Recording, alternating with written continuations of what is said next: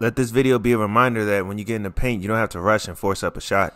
If we're being honest, if you just take your time, jump stop, step through, pump fake, you can get the exact shot that you want.